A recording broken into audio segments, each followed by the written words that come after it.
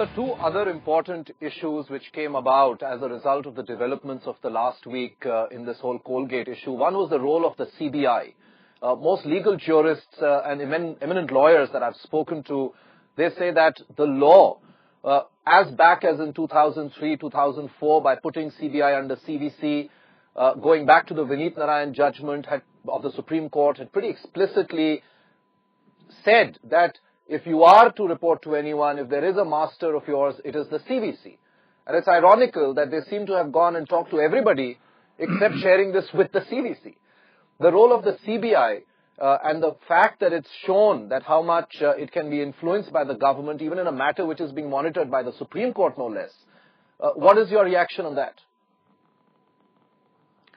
My reaction is uh, to entirely agree with you because the CBI had no business going to these uh, uh, officials and uh, the law minister and the attorney general and other law officer of India to show their uh, status report, which which was a summary of the the result of the the outcome of the investigations.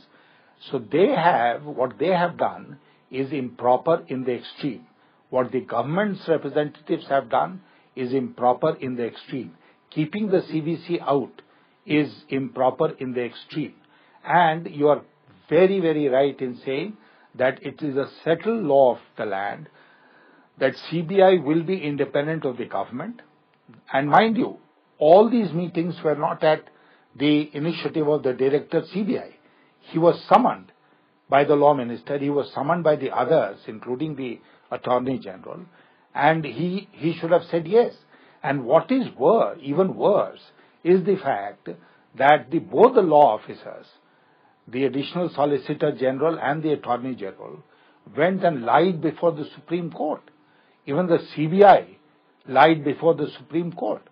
And this is something which is unpardonable in our democracy. You can't, uh, there are two places where you can't utter untruth. One is the parliament and the other is the other courts of law.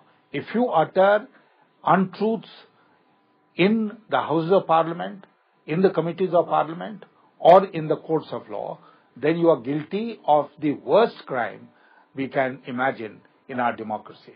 And this is what the government is guilty, the law officers are guilty, the Prime Minister himself is guilty, and I hope when the Supreme Court pronounces its uh, judgment uh, on, on Wednesday, they will have these uh, factors in mind.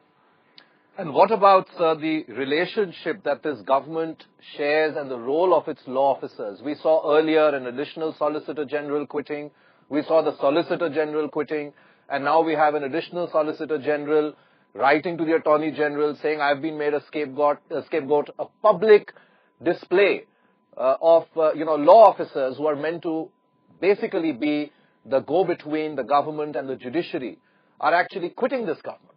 Yes, you know, it's an unprecedented situation.